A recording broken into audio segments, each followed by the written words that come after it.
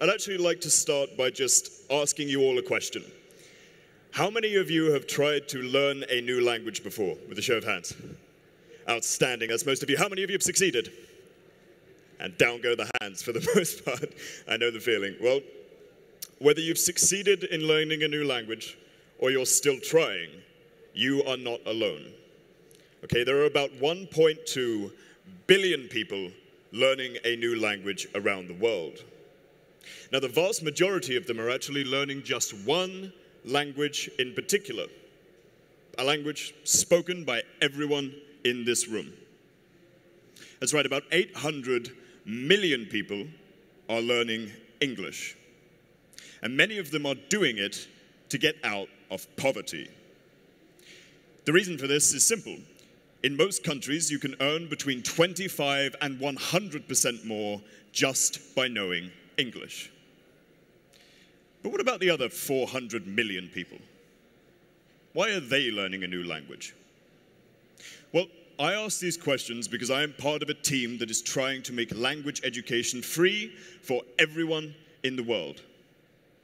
It's called Duolingo, and we have more than 300 million people using it to learn a new language for free. Now, that means that we have one of the largest data sets of language learners in existence. And we've studied millions of people spanning every single country on the planet. Our researchers created this map, and it shows us the most popular languages to learn in each country around the world. And it tells us a lot of interesting things. For example, we can see just how popular it is to learn English. Most of the world is learning English. Now, this is something that we expected. But then we noticed something unexpected, something strange. And if I zoom in here, you'll be able to see it too.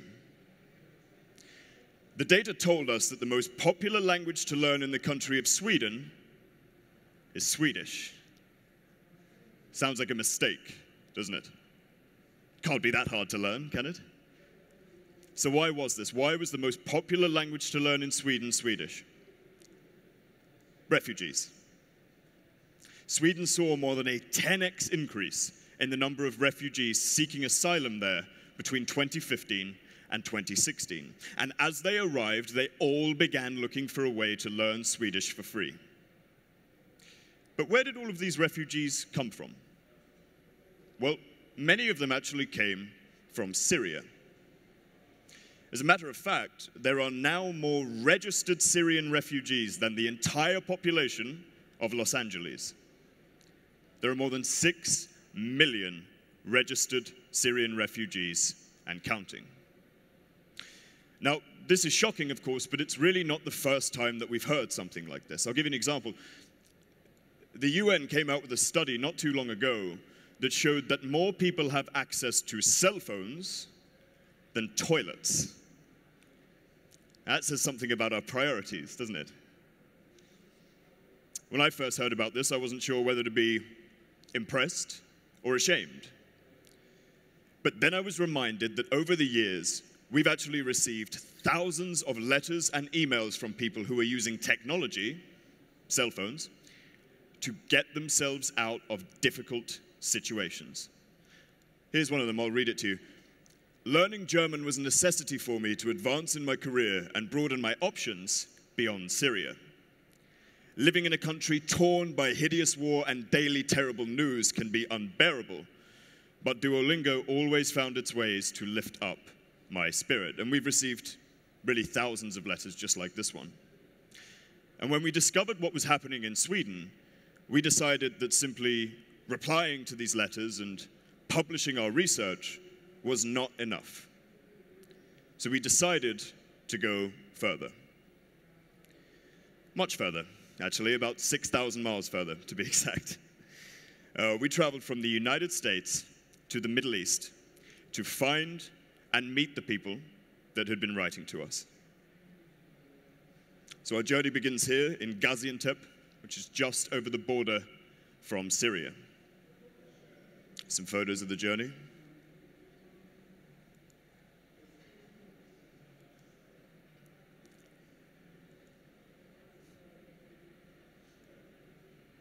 Now, the first person to let us into his home and into his life is a man named Ale.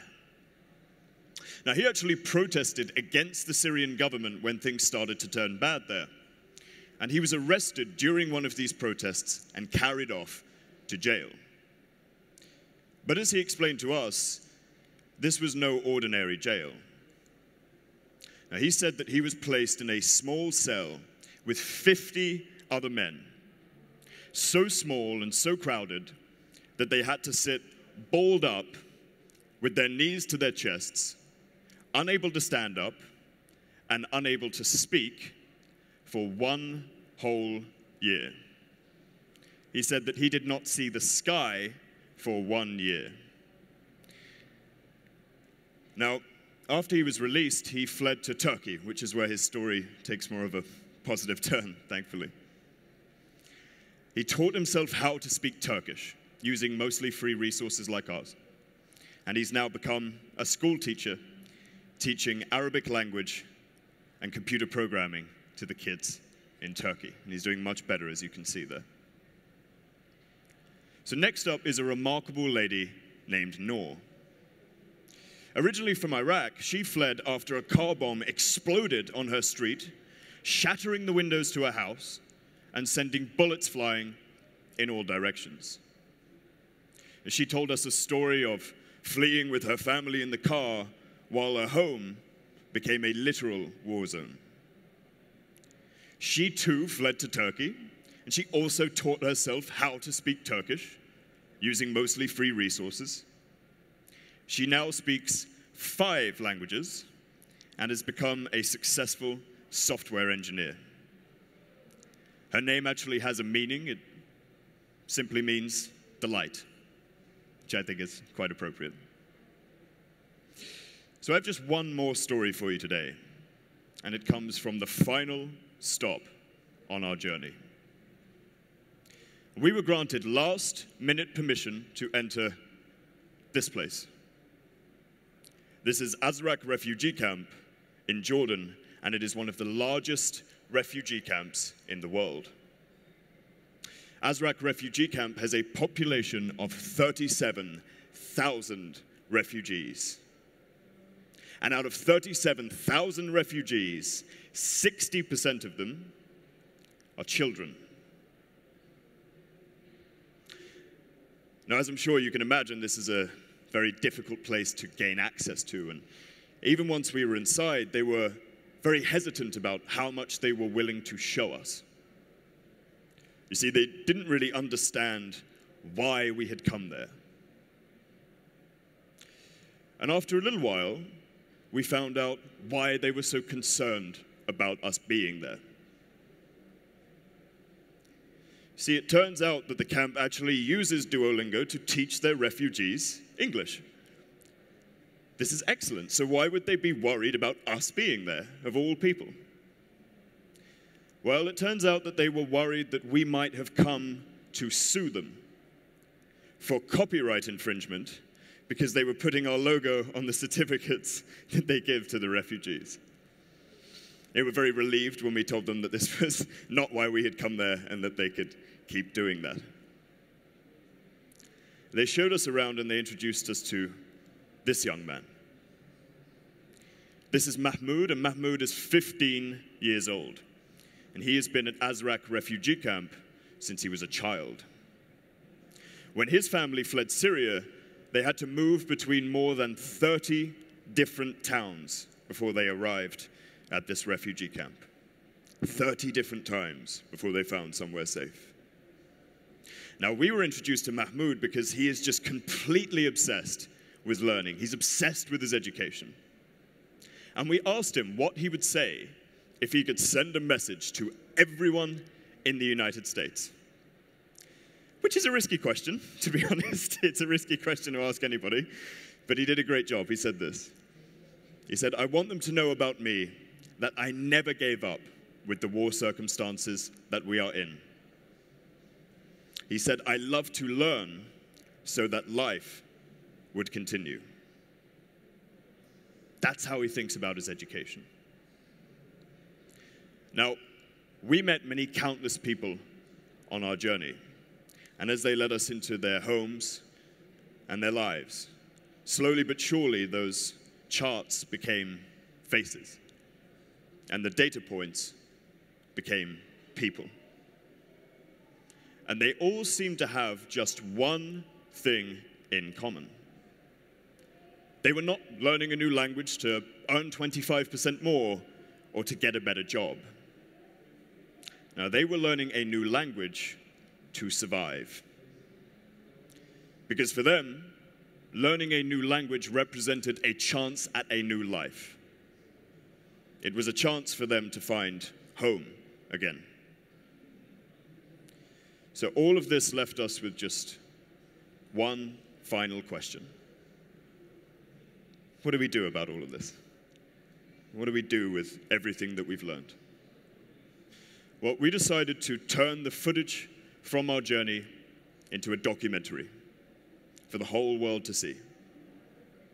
The documentary is called Something Like Home, and we released it for free on World Refugee Day 2018. It's since been watched by more than 1 million people around the world, and it promotes the United Nations Refugee Council petition. This is a petition that asks the governments of the world to make sure that all of the refugees in their country get access to a free education.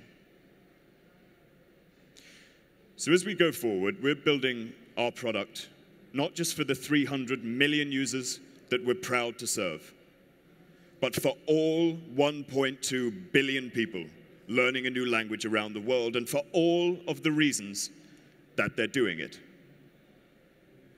Because we think we can make a positive impact in their lives.